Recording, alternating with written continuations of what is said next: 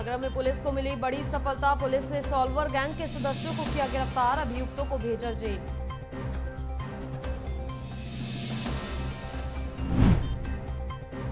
पीलीभीत में किसान ने फांसी लगाने का किया प्रयास। मंडी में धान न तोलने से नाराज़ था किसान। पुलिस ने बचाई किसान की जान। बलरामपुर में ट्रैक्टर से कुचल कर की गई बीजेपी कार्यकर्ता की हत्या। ट्रैक्टर छोड़कर फरार हुआ आरोपी। ग्रामीणों ने शव रखकर लगाया जाम।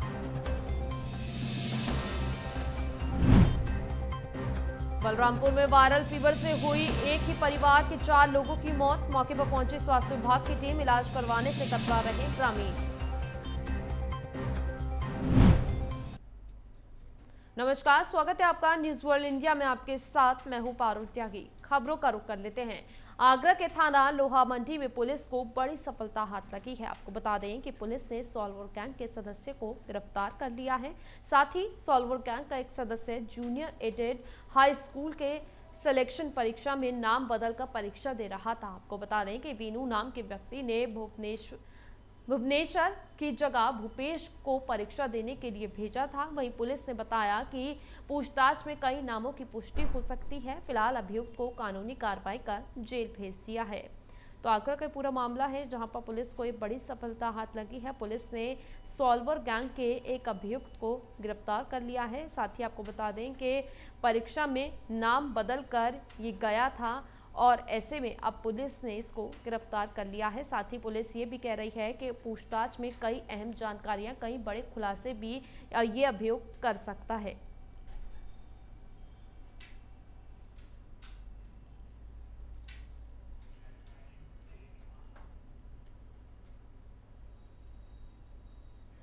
पीलीभीत के नवीन मंडी सल पूरनपुर में धान तोलने को लेकर उनतीस धान क्रय केंद्र स्थापित किए गए हैं।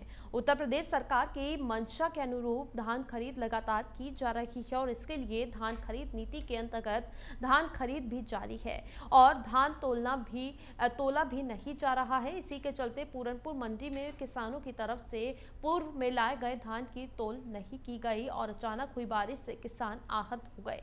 जिसके चलते किसान ने सेंटर प्रभारी से धान तोलने को कहा तो सेंटर प्रभारी अधिकारी ने बारदाना न होने की बात कही और इसी बात से परेशान होकर किसान ने फांसी लगाकर जान देने का प्रयास किया, लेकिन मौके पर मौजूद दूसरे किसानों और पुलिस ने किसान को फांसी लगाने से बचा लिया।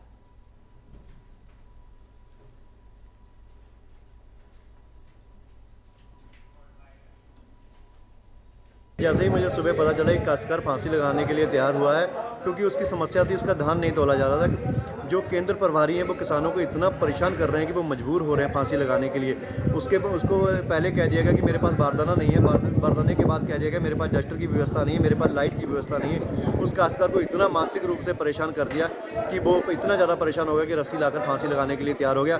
वहाँ पर पुलिस प्रशासन और हम लोगों को द्वारा पहुंचकर उनको रोका गया और उनकी जान बचाई जा सकी। अगर हम लोग जरा सी भी देरी कर देते शायद आज एक किसान की जान चली जाती। कौन से मंडी स्थल का मामला है? ये पूर्णपुर मंडी स्थल का मामला है और वहीं पे सेंटर जो पीसीएफ का सेंटर था उस सेंटर पे ये वारदात हुई है और आगे दूसरे सेंटरों का भी हाल बहुत बुरा है। सर आज जो राज्य आए थे उनको धान तोड़ने को कहा तो मेरे पास बारदाना ना होने के कारण उन्होंने कहा कि जो है मैं फांसी लगा लूँगा। ये ऐसी समस्या लेकिन प्रशासन आकर के यहाँ पे व्यवस्था करा के और उसका धान टूट गया ये कौन से सेंटर का मामला है? ये पी सी एफ़ थर्ड है। कौन सी मंडी का मामला है ये? पी सी एफ़ थर्ड कौन सी मंडी लगती है मंडी पूरन। वे आगे महेश यहाँ के इंचार्ज हैं पी सी एफ़ सेकेंड के। उनको ये कहा कि ये धान तोल लीजिए बरसात का मौसम है। तो इन्होंने कहा कि हमारे यहाँ बारदाना भी नहीं है डस्टर भी नहीं है और लाइट भी नहीं है। तो जिसको लेके मैंने बार बार प्रशासन प्रशासन एल आई कोतवाल साहब को, विक्रम सी साहब जो हैं, उनको और एस साहब को अवगत, तुरंत अवगत कराया। और उसके बाद भी कोई भी प्रशासनिक अधिकारी जो थे, मौन व्रत लेके बैठे हुए थे, कुंभकर्ण की नींद हो रहे थे, इधर बरसात हो रही थी, धान खराब हो रहा था। तो मैं इतना उत्तेजित हो गया कि मैंने फिर ये मैंने सोचा कि इस धान को तुलवाने से अच्छा ये है कि मैं आत्महत्या कर लूँ। तो मैंने फांसी के लिए कदम उठाया। फिर किन लोगों ने आपको बचाया? मुझे गुरविंदर सिंह ने बचाया और हमारे जो एस आई हैं हमारे हल्के के वो यहाँ पे हमें नज़रबंद करे हुए हैं।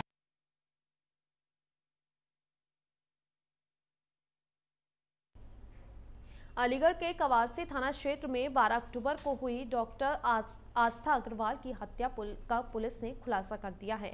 आपको बता दें कि आस्था की हत्या उसके पति अरुण अग्रवाल ने तीन लोगों को पैसे देकर कराई थी। अरुण ने एक लाख रुपए में आस्था की हत्या कराना तय किया था जिसके अवज में वो साठ हज़ार दे चुका था और ऐसे में पुलिस ने मामले में मृतका के पति सहित तीन लोगों को अब गिरफ़्तार कर लिया है जबकि एक अभियुक्त फरार चल रहा है। पुलिस उसकी तलाश कर रही है। तो अलीगढ़ का ये पूरा मामला है, कवारसी थाना क्षेत्र का, जहाँ पर बीते दिनों एक महिला की मौत हुई थी, जिसके बाद अब पुलिस ने इस पूरी हत्या का खुलासा कर दिया है और ऐसे में खुलासा करते हुए बताया गया है कि आस्था के पति ने ही कुछ लोगों से उसकी हत्या कराई थी और एक लाख रुपए हत्या कराने के लिए उसने दिए थे।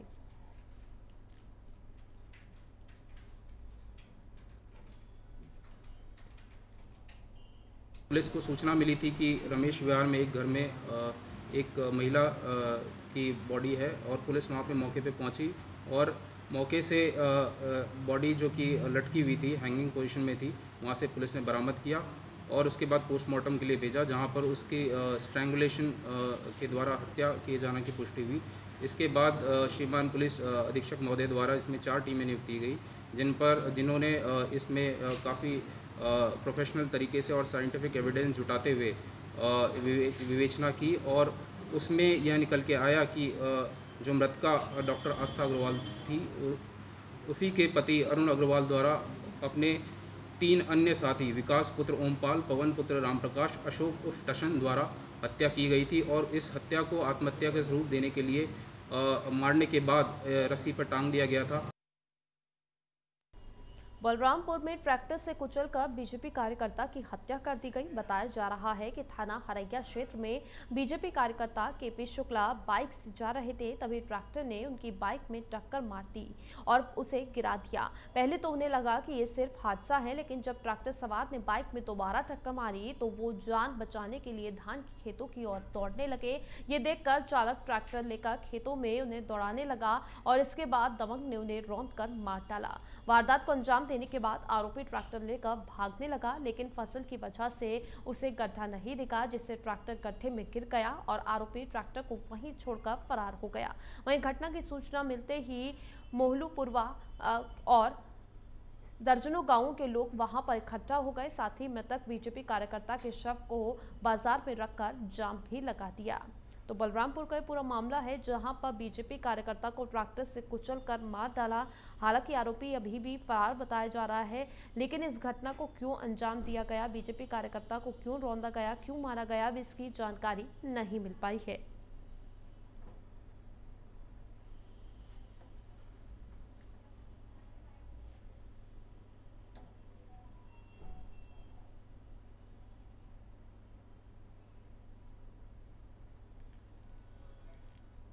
रैया के ग्राम भड़सैया के निकट एक व्यक्ति कृष्ण प्रकाश शुक्ला, की मृत्यु हो गई।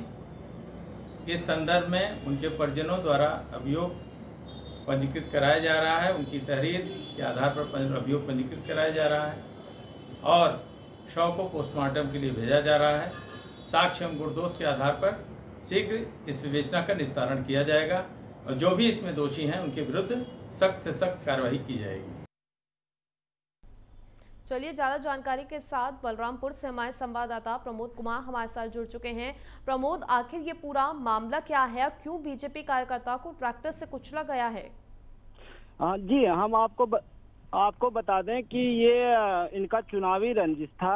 ये प्रधान प्रतिनिधि भी थे और इस बार इन्होंने जीत भी लिया था। इनको तीन सात महीने पहले इनसे एक चुनावी रंजिश को लेकर इनके ऊपर वार किया गया। इनको गोली मार दी गई। उसके बाद में इन पर 307 मुकदमा लिखा गया। आरोपी को बंद किया गया। वो छूटते ही इन पर फिर हमला बोल दिया। जी। बिल्कुल प्रमोद, अब तक इस पूरे मामले में क्या कुछ कार्रवाई की गई है? क्या अभी तक जो फरार ट्रैक्टर चालक था उसका पता चल पाया है? जी, इसमें नाम दर्ज इन्होंने एप्लीकेशन दिया है। इसमें पाँच अभियुक्त के नाम दिए गए हैं, जो कि जहाँ अभी पुलिस, ये तो फरार चल रहे हैं, लेकिन पुलिस उनके पिताजी को पकड़ कर दबिश देकर उनके पिताजी को पकड़ के लेके गई है। जी।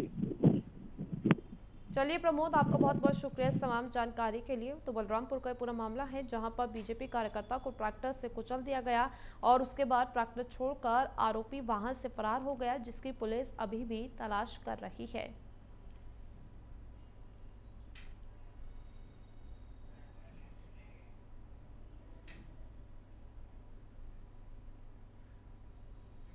बलरामपुर के ब्लॉक शिवपुरा ग्राम सभा गुकोली गाँव में वायरल फीवर से फिर एक ही परिवार के चार लोगों की मौत हो गई है। बताया जा रहा है कि कुछ दिन पहले सात मासूम बच्चों सहित नौ लोगों की मौत हो चुकी है। वहीं जब स्वास्थ्य विभाग की टीम मौके पर इलाज करने के लिए गाँव में पहुँची तो गाँव वाले इसे देवीय प्रकोप समझकर इलाज कराने से कतराते रहे। गाँव वाले इसे देवीय आपदा मान रहे हैं, जिसके चलते गाँव वाले झाड़ फूक के चक्कर में पड़ गए हैं। तो बलरामपुर का पूरा मामला है, जहाँ पर एक ही परिवार के वायरल फीवर से चार लोगों की जान जा चुकी है। लेकिन सबसे बड़ी बात यह है कि अंधविश्वास लोगों के मन में अभी भी कितना बसता है, ये देखा जा सकता है बलरामपुर में, क्योंकि जब स्वास्थ्य विभाग की टीम वहाँ पर पहुँची तो इसे लोगों ने देव्य प्रकोप बताया और कहा कि हम इलाज नहीं कराएँगे। ये कोई हम बीमार नहीं हैं, ये देव्य प्रकोप है कुछ दिन में ठीक हो जाएगा।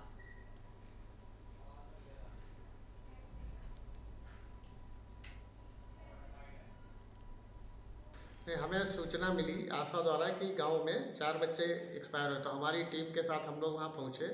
तो वहाँ जो उस समय स्थिति थी तो दस्त और डायरिया के ही पेशेंट थे। इसमें से जो दो बच्चे ख़त्म हो गए तो परिवार वालों से कह, पता चला कि ये माता जी का प्रकोप है, इसलिए हम हॉस्पिटल नहीं गए। और जो बच्चे सीरियस थे, उन लोगों को हम लाके यहाँ मथुरा पी पे एडमिट करा दिए हैं। सभी ठीक है, एक बच्चे की हालत अभी थोड़ा नाजुक है, लेकिन कल से बेटर है। जी ये कौन सी बुखार है सर? अब देखने से तो डायरिया बुखार ही लग रहा है लेकिन हो सकता है कि फ़ूड पॉइजनिंग का भी हो सकता है। एक तीन साल का एक सात साल का। अच्छा दो बच्चे मर चुके हैं? हाँ दो बच्चे और दो जनानी। अच्छा तो इसमें स्वास्थ्य विभाग आया? नहीं। कोई नहीं आया? हाँ, ये कब मरे हुए हैं? कल आज तीन रोज मर, मरे हुए हैं। अच्छा यहाँ स्वास्थ्य विभाग कुछ दवाई दिया या नहीं दिया? नहीं इसका वजह क्या है? किस लिए यही कहते हैं कि इसका सफ़ाई रखो घर कुरिया के रहता के सब सफ़ाई रखो। नहीं किया। हाँ? नहीं किया। अभी तक नहीं दवाई? नहीं जो है परसों हो जो है हाँ कल हो इलाज ले गए हैं। हाँ हाँ। और यहाँ दवाई आ, लोगों को दिया गया कि यहाँ चार ठोर जो है खतरा हो गए हाँ। तब जो है आए हैं। हाँ। हाँ। अच्छा। हाँ चार ठोरी जो है चा, चार आदमी मर चुके हैं। चलिए एक बार फिर बलरामपुर से हमारे संवाददाता प्रमोद कुमार का रुख करेंगे। प्रमोद जिस तरह से वायरल फीवर का कहर लगातार बलरामपुर में बढ़ रहा है लेकिन लोगों के मन में अंधविश्वास भी उसी तरह से है। जी हम बता दें यहाँ गए थे इन गाँव वालों से पूछे तो उन्होंने बताया कि हमारे यहाँ दैवी का देवी देवता का प्रकोप है। इसके वजह से ये होता है। लेकिन वहाँ स्वास्थ्य विभाग की टीम पहुंचकर लोगों को समझाया कि ये पहले इलाज कराइए। इलाज के वक्त ही आपको राहत मिलेगी। बिल्कुल तो क्या अब लोग वहाँ पर मान गए हैं क्या वो इलाज कराने के लिए तैयार हो गए हैं? जी, वहाँ चार बच्चे मर चुके थे और पाँच लोग बीमार थे, जिसको एक की हालत गंभीर थी, वो स्वास्थ्य विभाग में लाकर इलाज चल रहा है और एक बच्चे की हालत गंभीर थी और चार ठीक ठाक थे। जी। बिल्कुल प्रमोद, और अभी तक अगर इलाके की बात की जाए तो कितने लोग वहाँ पर बीमार हैं? अब तक तो एक ही घर में पाँच लोग बीमार हैं और चार मर गए थे। लेकिन अ, सवाल ये उठता है कि टीम स्वास्थ्य विभाग की टीम मौके पर जाकर दवाई नहीं वितरण करता है। गाँव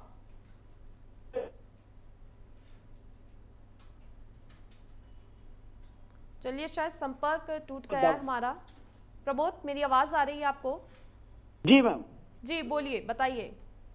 ये यहाँ के लोग का आरोप है कि स्वास्थ्य विभाग के टीम द्वारा अभी तक न दवाई वितरण किया गया है और न ही इनका इलाज आसपास के गाँव का में आज तक टीम आई है। तो लेकिन प्रमोद, जिस तरह से स्वास्थ्य विभाग की जब टीम जा रही थी, वहाँ पर लोग इलाज कराने से कतरा रहे थे, वहीं लोग स्वास्थ्य विभाग पर ही आरोप लगा रहे हैं कि टीम वहाँ पर नहीं पहुँच पा रही।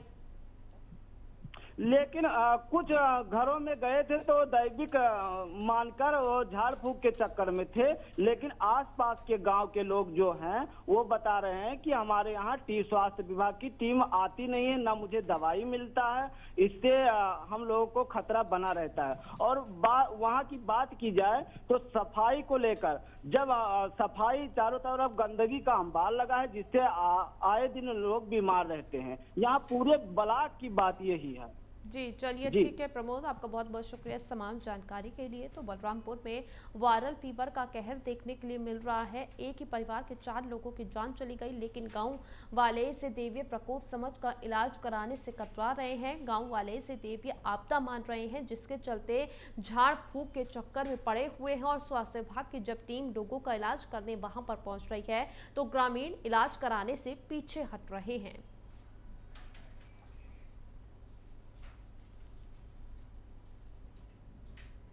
ग्रेटर नोएडा में बदमाशों के हौसले लगातार बुलंद होते नज़र आ रहे हैं। ग्रेटर नोएडा के खेड़ा चौहानपुर गाँव में कार सवार बदमाशों ने पूर्व प्रधान का अपहरण करने की कोशिश की।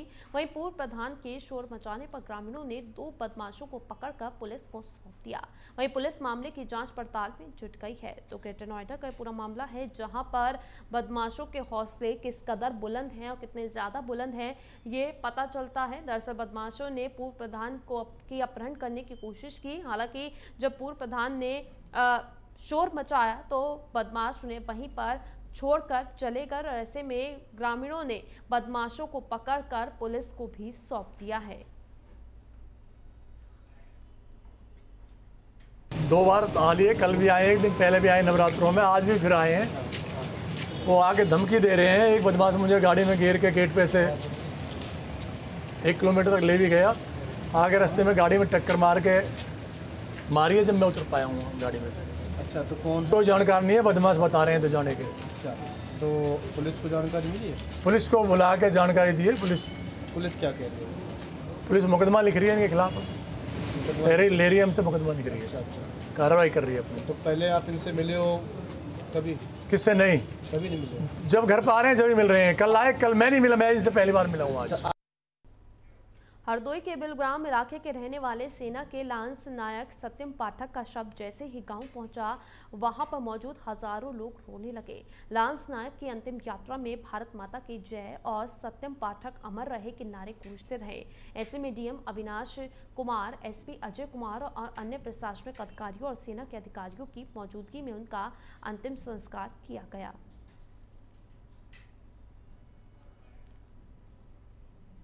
यहाँ पे हवलदार सत्यम पाठक जो यहाँ बिलग्राम के निवासी हैं वो फाइव एस सी बटालियन में पोस्टेड थे में वहाँ पे जो, वहाँ की सर्विस कंडीशन है, बहुत डिफ़िकल्ट है।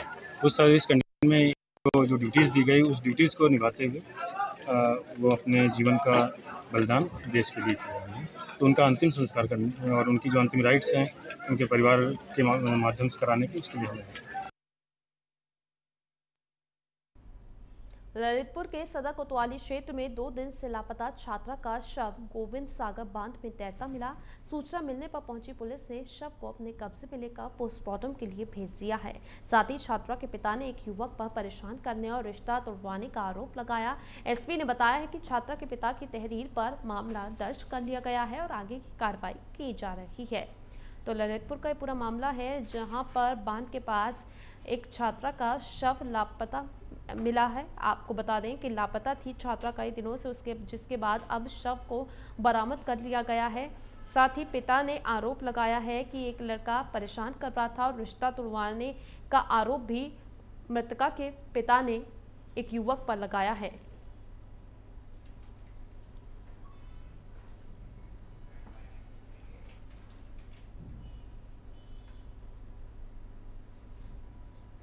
रोहतास के डेहरी में महिला थाना में अपने दो बेटियों के साथ एक महिला पहुँची, जिसने अपने ससुराल वालों पर आरोप लगाया है कि उसके एक बेटे को ससुराल वालों ने उससे छीन लिया है और महिला का, को दोनों बेटियों के साथ घर से निकाल दिया। महिला ने अपने ससुराल वालों और पति पर आरोप लगाया है कि छह साल पहले मुफसली थाना क्षेत्र के कंचनपुर में उसकी शादी हुई थी। महिला ने पति पर शराब पीकर मारपीट करने का भी गंभीर आरोप लगाया है। साथ ही इस संबंध में पीड़िता ने महिला थाने में आवेदन देकर न्याय की गुहार लगाई है। वहीं महिला की शिकायत के बाद पुलिस ने अब कार्रवाई शुरू कर दी है। ससुराल वालों में हम पर बहुत अत्याचारी कर रहे हैं। सारा परिवार के मार रहे हैं, पीट रहे हैं हमको। सवांग को उल्टा पलटा सिखा के मियाँ बीबी में लड़ाई लगवा दे रहे हैं। वो आके शराब पी पी के हमको बलबस्ती मार रहे हैं, पीट रहे हैं। हाथ भी तोड़ दिए मार के डंडा से। आँख पे भी फटा अभी महीना दिन का गोद में बचा है पटक पटक को मार रहे हैं पीट रहे हैं बच्चा भी छीन लिया गया हाँ गोद से बचा ज़बरदस्ती उन लोग छीन लिया। हम्म, क्या बोल रहे हैं? कि दो बचा है बचा तीनों देकर जाओ तुम।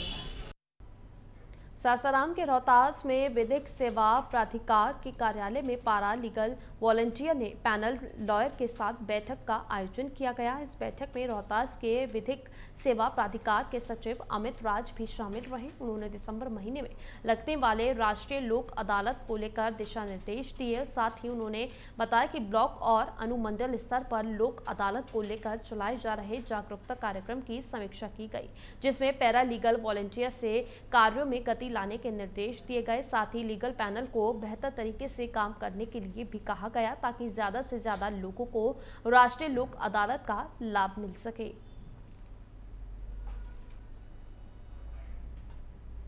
पैरा लीगल वॉलंटियर एवं पैनल लॉयर के साथ एक बैठक की गई एवं उन सभी लोगों के साथ समीक्षा रिपोर्ट ली गई, जिसमें ये जानकारी प्राप्त की गई। कि सभी ब्लॉक में, सभी अनुमंडल में किस प्रकार से कार्य चल रहा है और इसको आगे कैसे गति दी जाए, इस संबंध में विस्तृत चर्चा की सहारनपुर के बेहद पुलिस ने क्षेत्र के जंगल में छापा मारकर भारी मात्रा में तैयार अवैध शराब और शराब बनाने के उपकरण को बरामद किया है। छापेमारी के दौरान एक अभियुक्त को पुलिस ने गिरफ़्तार कर लिया है, बाकी दो अन्य आरोपी भागने में कामयाब रहे। वहीं मौके से मिली एक स्कॉर्पियो कार भी पुलिस ने अपने कब्जे में ले ली है और साथ ही पकड़े गए अभियुक्त को जेल भेज दिया गया है।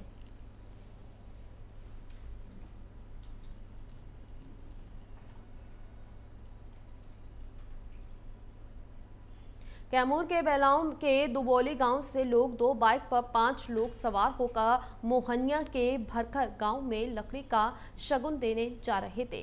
तभी बता दें, परासिया पेट्रोल पंप के पास गाड़ी को साइड में खड़ा कर मोबाइल से बात करने लगे। इतने में ही मोहनिया की तरफ़ से तेज रफ्तार से आ रही ब्रेक फेल वैक्सीनेशन बोल्डरों ने जोरदार टक्कर मार दी, जिसमें घटनास्थल पर ही एक व्यक्ति की मौके पर ही मौत हो गई, जबकि तीन लोग गंभीर रूप से घायल हो गए। जिसके बाद आसपास के लोग घर घटनास्थल पर इकट्ठा हो गए और घायलों को आनंद फानंद में सदर अस्पताल में लेकर पहुँचे, जहाँ तीन लोगों की नाजुक हालत को देखते हुए उन्हें बनारस के लिए रेफर कर दिया गया है। तो कैमूर का ये पूरा मामला है, जहाँ पर ब्रेक फेल होने से वैक्सीनेशन बोलेरो ने जोरदार तीन लोगों को टक्कर मार दी। बता दें, आपको सभी लोग लड़की का शगुन देने के लिए जा रहे थे, जिससे मौके पर ही एक की तो मौत हो गई, जबकि तीन लोगों की गंभीर हालत बताई जा रही है, जिन्हें बनारस के लिए रेफर कर दिया गया है।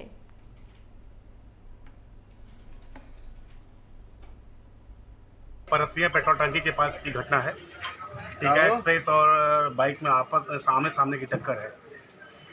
जहाँ तक लोग बता रहे हैं कि गाड़ी का स्टेयरिंग फेल हो गया है। और उसमें बाइक पे चार लोग थे जिसमें एक वृद्ध व्यक्ति की मृत्यु हो गई घटनास्थल पर ही। तीन इंजर्ड है सीरियस है। हमें फ़ोन किया वहाँ से लोगों ने मैं तुरंत पहुँच के उनको अपनी गाड़ी से और एंबुलेंस के माध्यम से यहाँ लाया। हॉस्पिटल पता चला कि ये लोग दुबौली के रहने वाले हैं। और सगाई करने के लिए जा रहे थे कहीं और उसी दरमियान ये घटना हुई है। आमने सामने की टक्कर है। कई लोग घायल हैं?